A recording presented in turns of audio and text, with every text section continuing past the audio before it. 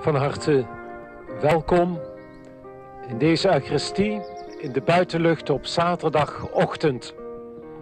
We staan hier voor de kerk, de Katharinekerk in de Holz. Een kerk die meerdere keren zwaar is geraakt. In 1992 een aardbeving met zo'n grote schade dat het een geweldige inspanning is geweest voor de plaatselijke gemeenschap om de kerk weer open te krijgen. Het vorig jaar, juni, moest de kerk van de ene dag op de andere gesloten worden omdat er scheurenvorming was in een van de gewelven. Zes maanden moest de kerk dicht tot vlak voor kerstmis. En dan, nog geen drie maanden later, moet de kerk weer dicht vanwege het coronavirus. De ene tegenslag naar de ander. En toch, de kerk zet haar deuren open. Want Christus leeft. En hij wil in ons midden komen. In onze kwetsbaarheid. In onze broosheid. Bidden zingen wij 876 het lied daar nu het feest van Pasen is. 876.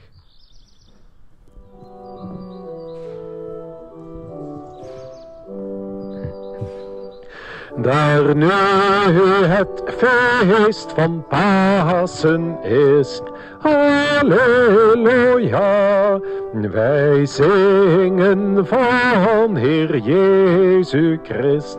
Halleluja, Halleluja, Halleluja. Halleluja, wij heffen aan. Halleluja. De Heer is waarlijk opgestaan. Halleluja, halleluja, halleluja. Waar dat ik ben of waar ik ga, halleluja. Mijn ziel die zingt halleluja. Halleluja, halleluja, halleluja.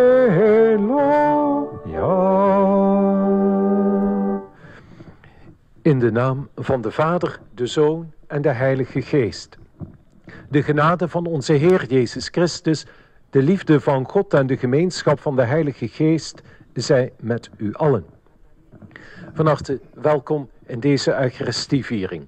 En toch is het heel vreemd dat we hier staan voor een lege kerk. Een handjevol gelovigen heeft zich verzameld hier op het ogenblik. We mogen geen grootse vieringen organiseren. En zoals u het lichaam van Christus wellicht mist in de communie, zo mis ik u. Want u bent het lichaam van Christus, de kerk. Natuurlijk hopen we dat we binnen afzienbare tijd weer gewoon elkaar kunnen zien, samen de Eucharistie op een volwaardige wijze kunnen vieren. Maar u kunt ook aan elkaar laten weten dat u er bent. Dus typ maar gerust in, ik ben er met uw naam. Zodat we van elkaar weten dat we met elkaar verbonden zijn. En dat het Christus is die ons samenbrengt, ja, die ons samenbrengt waar wij ook zijn op dit moment. Waar wij ons echter los hebben gemaakt van onze God en van onze medemens, waar wij ons te veel hebben opgesloten en afgesloten voor de ander, vragen wij eerst om vergeving. Ik beleid voor de Almachtige God en voor u allen dat ik gezondigd heb in woord en gedachte, in doen en laten door mijn schuld, door mijn schuld, door mijn grote schuld. Daarom smeek ik de heilige Maria, altijd maagd, alle engelen en heiligen, en u broeders en zusters, voor mij te bidden tot de Heer onze God. Mogen de Almachtige God zich over ons ontfermen, onze zonde vergeven en ons geleiden tot het eeuwige leven. De vaste misgezangen staan op 381.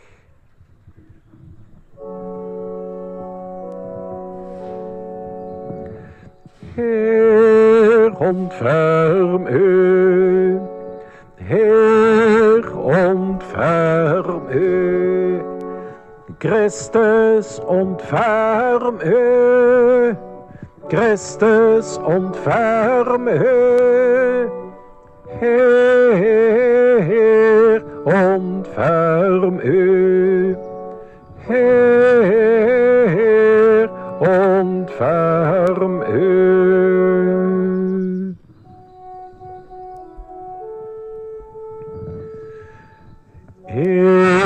God in den hoge en vrede op aarde aan de mensen die hij lief heeft. Wij loven u, wij prijzen en aanbidden u. Wij verheerlijken u en zeggen u dank voor uw grote heerlijkheid. Heer God, hemelse koning, God almachtige Vader. Heer, enig geboren Zoon, Jezus Christus. Heer God, Lam Gods, Zoon van de Vader. Gij die wegneemt de zonden der wereld, ontferm u over ons. Gij die wegneemt de zonden der wereld, aanvaard ons gebed. Gij die zit aan de rechterhand van de Vader, ontferm u over ons. Want gij alleen zij de heilige, gij alleen de Heer, gij alleen de Allerhoogste, Jezus Christus met de Heilige Geest en de heerlijkheid van God de Vader. Amen.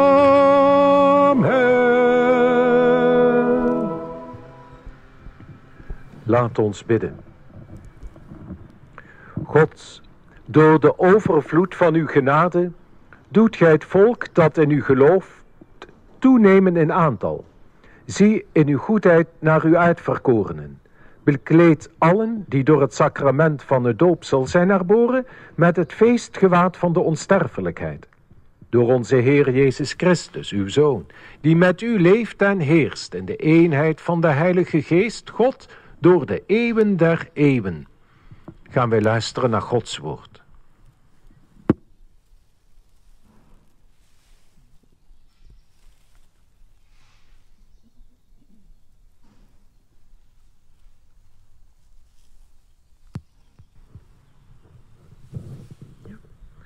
Lezing uit de Handelingen van de Apostelen. In die dagen stonden de hoge priesters, de oudsten van het volk en de schriftgeleerden verbaasd, toen zij de vrijmoedigheid van Petrus en Johannes zagen. Zij herkenden hen als gezellen van Jezus. Omdat zij bovendien de genezen man bij hen zagen staan, wisten ze er niets tegen in te brengen.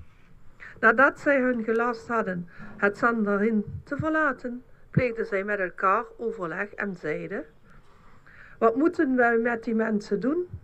Het is duidelijk voor alle inwoners van Jeruzalem dat een onmiskenbaar wonderteken door hen verricht is.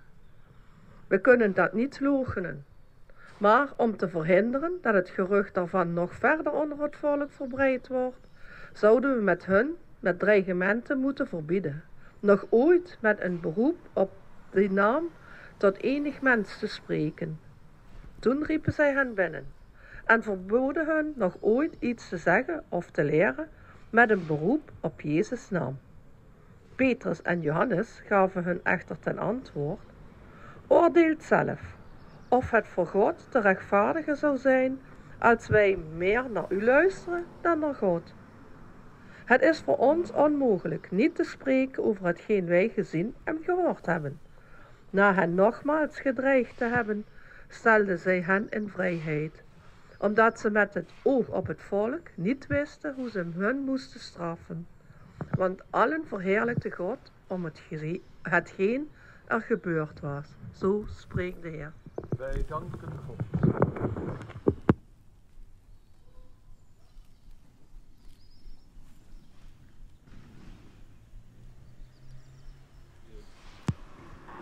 De tussenzang vind je op pagina 666.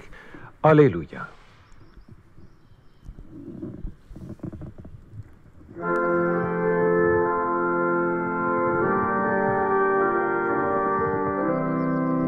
Halleluja. Looft God in zijn heiligdom. Looft hem heel zijn hemel om. Looft hem om zijn grote macht. Looft hem naar zijn grote kracht. Alleluia, Alleluia, Alleluia. Span naar een hem ter eer. Alleluia, loof de Heer. Looft hem zingend al wat leeft. Looft hem al wat adem heeft. Alleluia, Alleluia, Alleluia. Al Alleluia, Alleluia, Alleluia. Dit is de dag die de Heer heeft gemaakt. Wij zullen hem vieren in blijdschap. Alleluia, Alleluia, Alleluia.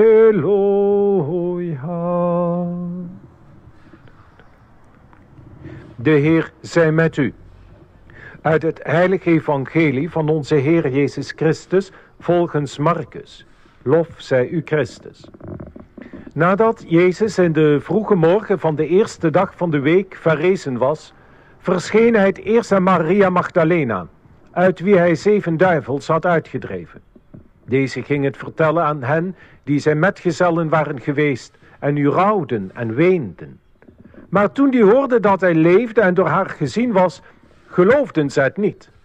Daarna verscheen hij in een andere gedaante aan twee van hen toen zij te voet op weg waren naar buiten. Nadat deze teruggekeerd waren, vertelden ze het aan de overigen, maar zelfs zij werden niet geloofd. Later verscheen hij aan de elf, terwijl ze aan tafel aanlagen. Hij maakte hun een verwijt van hun hardnekkig ongeloof, omdat zij geen geloof hadden geschonken aan degenen die hem gezien hadden nadat hij verrezen was. Daarop sprak hij tot hen, gaat uit over de hele wereld en verkondigt het evangelie aan heel de schepping. Zo spreekt de Heer. Getuigen. Getuigen die naar de leerlingen toekomen en niet worden geloofd. Als eerste Maria Magdalena. Zij komt en zij zegt dat ze Jezus heeft gezien. Maar de leerlingen zeggen nee, het kan niet waar zijn. Er staat over die leerlingen, zij rouwden en weenden. Maar is dat niet de situatie waarin wij ons vaak bevinden? Dat wij rouwen en wenen? Dat wij heel diep in ons hart verdrietig zijn? Vlak voor deze mis hoorde ik dat Frans Lahey is overleden. Hij was meer dan twintig jaar kerkmeester van dit gebouw. Hij heeft dit gebouw letterlijk ook als penningmeester mee in stand gehouden. Hij is van ons heen gegaan en wij rouwen om zijn heen gaan. Maar we weten dat er duizenden, tienduizenden deze dagen sterven. Er zijn zoveel die wij missen. Wij rouwen en wenen. En als wij de ramp als een tsunami over de wereld zien gaan, kunnen wij ons afvragen wanneer stopt dat nou? Er wordt nu al gesproken over de lockdown tot 1 september, nog eens drie maanden erbij. Moeten we onze kerken dan een half jaar dicht laten? En hoe moet het met zoveel? In Amerika, iedere dag komen er miljoenen nieuwe werkelozen bij. Ik meen dat de teller nu al op 22 miljoen staat. Hoe lang gaat dit door? Hoe lang houden wij dit vol? Zij rouwden en weenden. En ook als wij kijken naar deze kerk achter ons. En dan nu al kunnen zeggen, in één jaar tijd is deze kerk negen maanden gedicht. Negen maanden van de twaalf. Eerst vanwege scheurvorming, nu vanwege het coronavirus. En je zou bang kunnen worden. Hoe gaat dat in de toekomst? Als de kerk weer open gaat, komen de mensen wel terug? En toch, Jezus verschijnt. Hij zelf verschijnt en hij maakt hun een verwijt van een hardnekkig ongeloof. Is het niet Jezus die komt ook in de harten van de mensen? Op, als ik op zaterdagmorgen gewoonlijk de mis vier, dan zijn er misschien maximaal twee of drie gelovigen. Nu, dit kerkplein begint niet echt vol te lopen, maar ik tel ondertussen al tien mensen. En als ik na afloop eventjes kijk, aan het einde van de dag, hoeveel mensen bij de mis waren betrokken of hebben gekeken, dan waren dat deze dagen tot duizend toe. En dan kan het natuurlijk zijn dat men even heeft geklikt en dan weer op naar het volgende filmpje. Maar tegelijkertijd wordt steeds weer opnieuw bevestigd, mensen zoeken in deze tijd van stilte ook, en van onthaasting ook naar dat wat echt blijvend is. Wat moeten wij geloven? Jezus verwijt een hardnekkig ongeloof. Maar nu, ik denk er zijn zoveel zaken waar wij opnieuw weer in kunnen gaan geloven. Ook in het ontdekken van God. Dat wij Hem mogen gaan zien, die op zoveel verschillende wijzen naar ons toe komt. In een wonderlijke natuur. In het contact tussen mensen. Ja, zelfs in het kruis. Als wij lijden moeten doorstaan, mogen we Hem nabij weten. Hij die met ons heeft willen lijden en tegelijkertijd uit die dood is opgestaan. En dan zegt Jezus aan het einde, gaat uit over de hele wereld en verkondigt het evangelie aan heel de schepping. Maar we hoeven niet ver weg te gaan om dat evangelie te verkondigen. Mogen wij die blijde boodschap niet verkondigen aan de mensen om ons heen? En dan bedoel ik niet eens door iedereen te zeggen dat Jezus leeft, maar door dat te laten merken dat Jezus leeft. Dat Hij in jou leeft. Dat je Zijn geest hebt ontvangen. En dat je met Zijn geest en met Zijn liefde kunt gaan naar hen die misschien voor jou aan het einde van de wereld zijn. Degene waar je misschien het minst mee kunt vinden. Je schoonmoeder, je baas op het werk, kinderen die niet meer thuiskomen, kun je ook naar hen toe gaan en hen die vrede van Christus geven? Deze tijd waarin wij veel dingen niet meer kunnen, kunnen wij misschien andere dingen juist wel. Al was het maar om weer tijd te maken voor onze Heer en God. En tijd te maken voor elkaar, die toch allemaal kinderen zijn van dezelfde Vader. Amen leggen wij nu vol vertrouwen op Gods goedheid onze, onze gebeden en vragen aan God voor.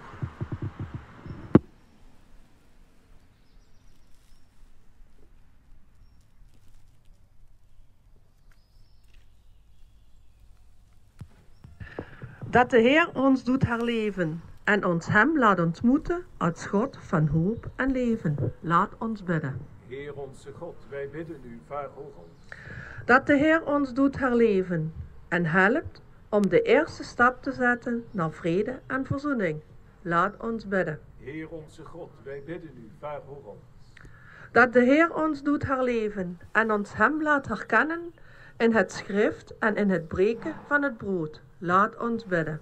Heer onze God, wij bidden u, vaar ons. Dat de Heer ons doet herleven, opdat wij als parochiegemeenschap deelnemen aan het lijden en de vreugde van onze medemensen. Laat ons bidden. Heer onze God, wij bidden u, vaar voor ons. Dat de Heer onze dierbare overledenen doet herleven, dat zij mogen delen in de volheid van zijn leven. Laat ons bidden. Heer onze God, wij bidden u, vaar voor ons. In een moment van stilte willen wij onze persoonlijke gebeden nu aan God voorleggen.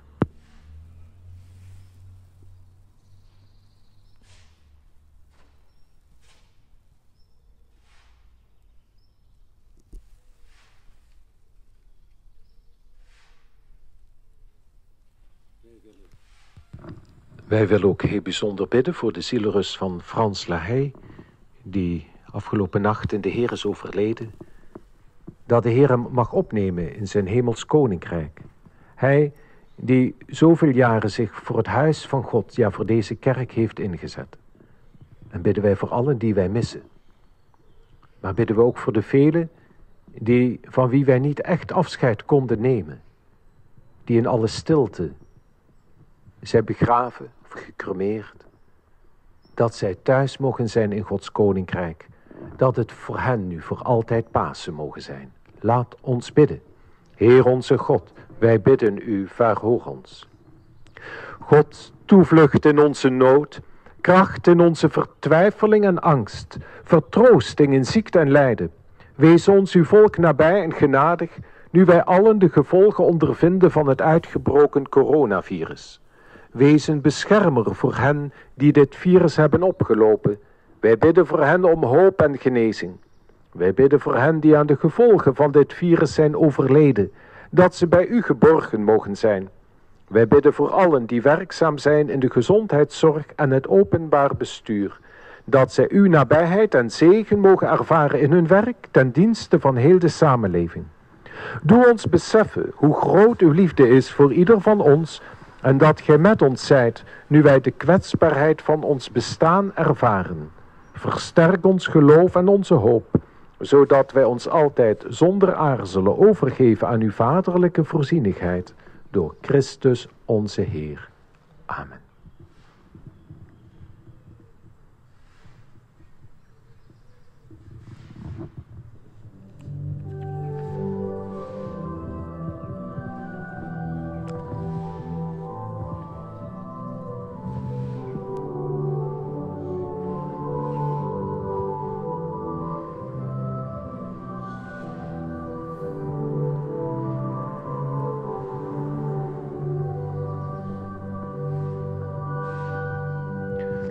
Gezegend zijt gij God, Heer van al wat leeft.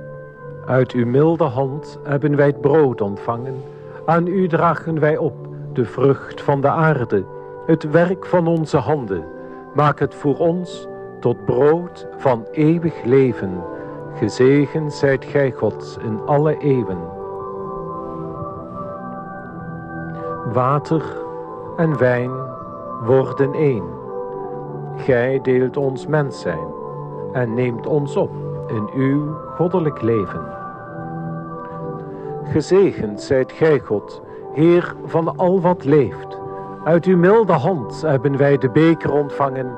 Aan u dragen wij op de vrucht van de wijngaard, het werk van onze handen. Maak het voor ons tot bron van eeuwig leven. Gezegend zijt gij God in alle eeuwen. In het besef van onze onmacht en onze schuld vragen wij dat deze offerande voor u aanvaarbaar wordt. Wij genade vinden in uw ogen. Neem alle schuld van ons af, o Heer.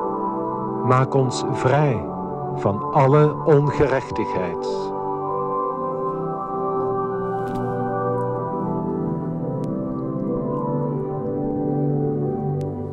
Bid, broeders en zusters, dat mijn en uw offer aanvaard kan worden door God de Almachtige Vader. Mogen de Heer het offer uit uw handen aannemen, tot lof en eer van zijn naam, tot welzijn van ons en van heel zijn heilige kerk.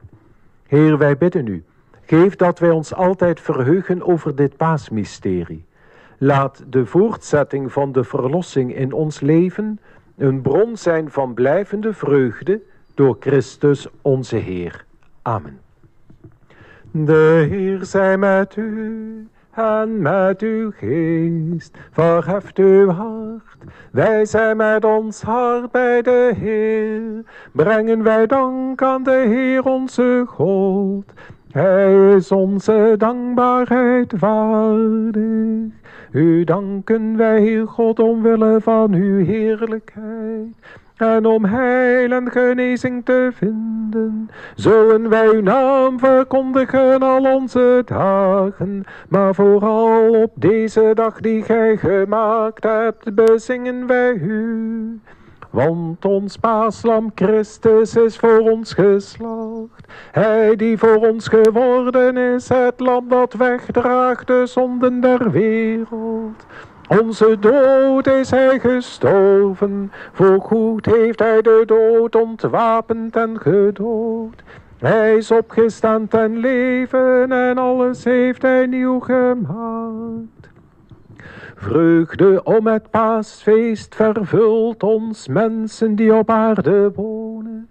Vreugde vervulde engelen in de hemel, de machten en de krachten die u loven, die u dit lied toejuichen zonder einde.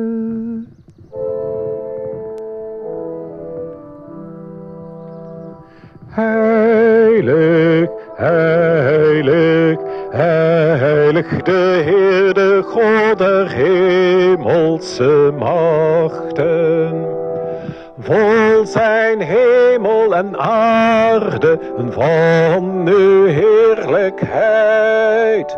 Hosanna in den hogen. Gezegend hij die komt in de naam des Heeren. Hosanna in den hogen.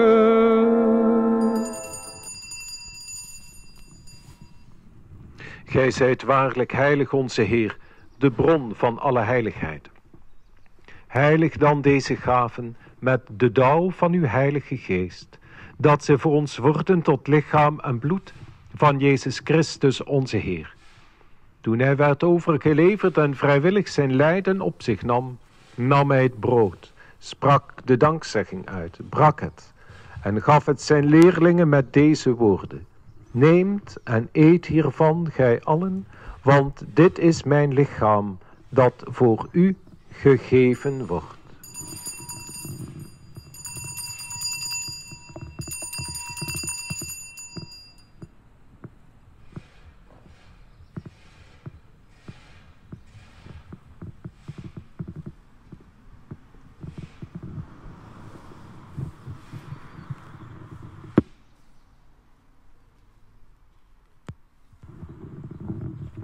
Zo nam hij na de maaltijd ook de kelk, sprak opnieuw de dankzegging uit en gaf hem zijn leerlingen met deze woorden, neemt deze beker en drinkt hier allen uit.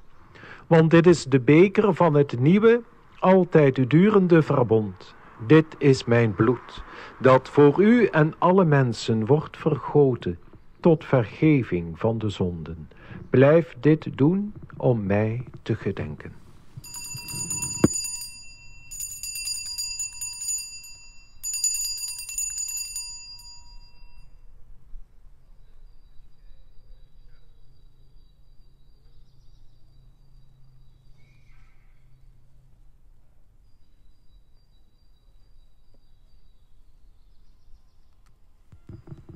Verkondigen wij het mysterie van het geloof.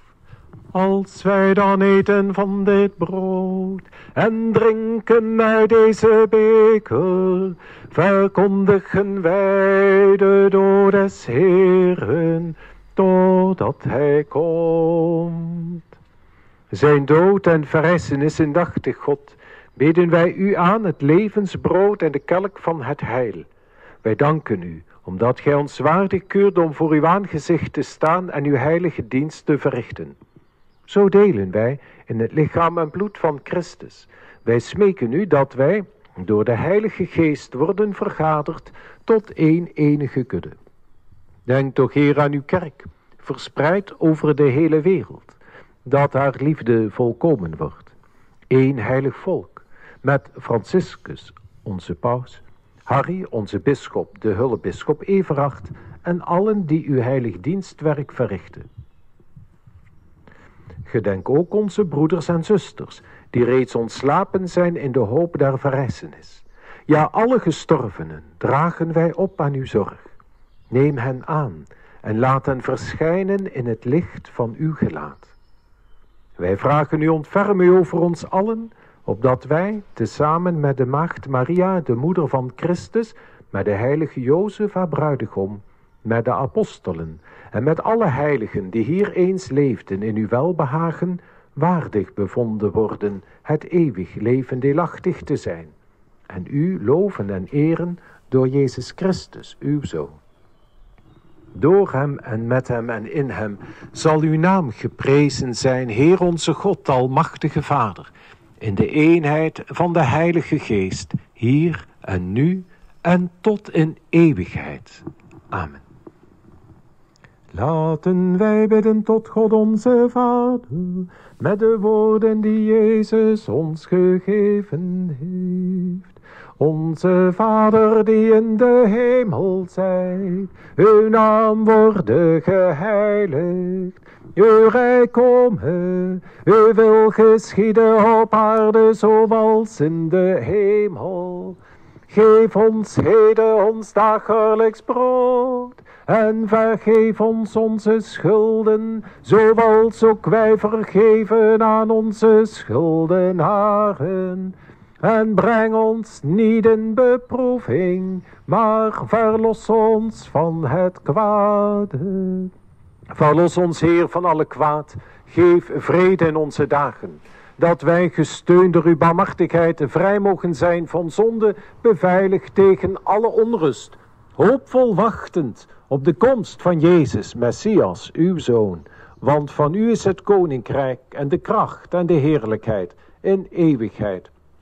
Heer Jezus Christus, gij hebt aan uw apostelen gezegd, vrede laat ik u, mijn vrede geef ik u. Let niet op onze zonde, maar op het geloof van uw kerk. Vervul uw belofte, geef vrede in uw naam en maak ons één, gij die leeft in eeuwigheid. De vrede des Heeren zij altijd met u. En wenst elkaar de vrede. Vrede van Christus. Vrede van Christus.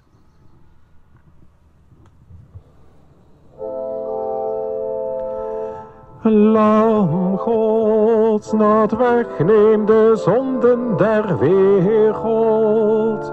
Ontferm u over ons. Lam Gods, dat wegneem de zonden der wereld. Ontferm u over ons. Lam Gods, dat wegneem de zonden der wereld. Geef ons de vrede.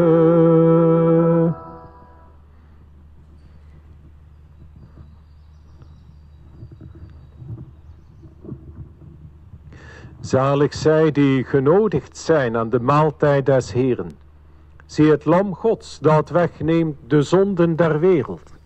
Heer, ik ben niet waardig dat gij tot mij komt, maar spreek slechts één woord en ik zal gezond worden.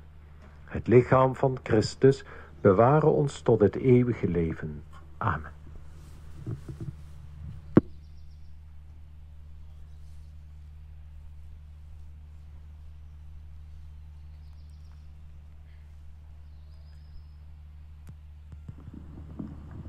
Het bloed van Christus bewaren ons tot het eeuwige leven. Amen.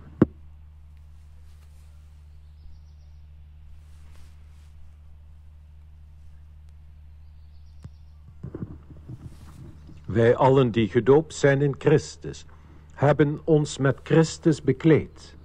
Alleluia. Wij leven een moeilijke tijd. Wij kunnen zelfs de communie niet ontvangen.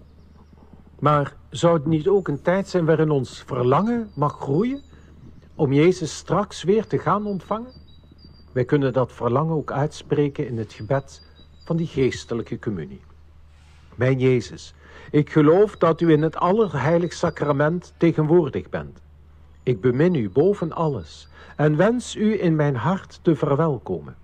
Nu ik niet de communie daadwerkelijk kan ontvangen, vraag ik van u de genade van de geestelijke communie. Omhels mij en zuiver mijn verlangen naar de Hemelse Vader.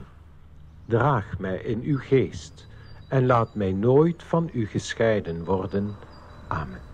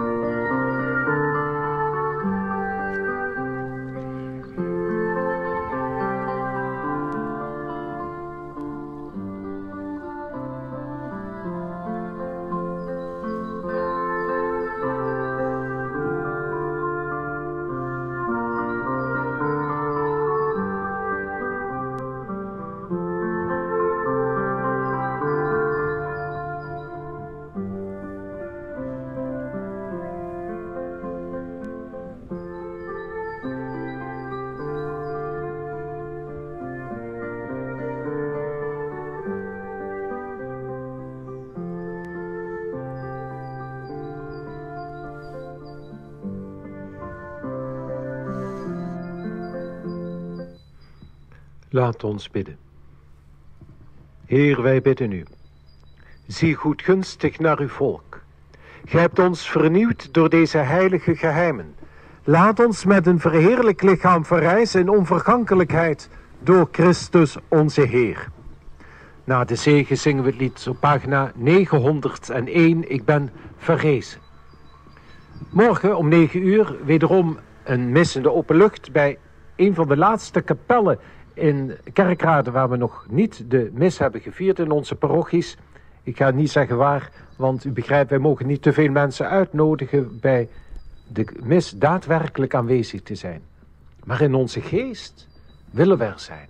En wij hopen, zoals op het prachtige standbeeld hier voor het plein wordt uitgebeeld, dat wij binnenkort ook zo weer mogen gaan vieren. Dat wij elkaar weer kunnen aanraken. Dat wij elkaar weer bij de hand kunnen nemen. Ja, dat wij kunnen dansen en zingen en springen en het leven kunnen vieren. Mogen ons dat spoedig gegeven zijn. De Heer zij met u en met uw geest. Zegene u de Almachtige God, de Vader, de Zoon en de Heilige Geest. Gaat nu allen heen in vrede, wij danken God.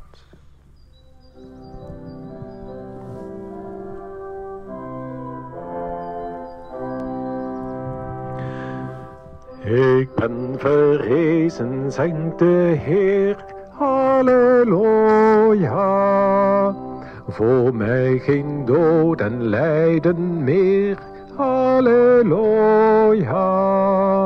God heeft zijn hand op mij gelegd, halleluja. Ik ben zoals ik heb gezegd, halleluja. Halleluja, halleluja, halleluja. God zelf greep in met sterke hand, halleluja. En trok mij uit het dodenland, halleluja. de steen die niemand hebben wou. Alleluia. Plaats God als hoeksteen van de bouw. Alleluia.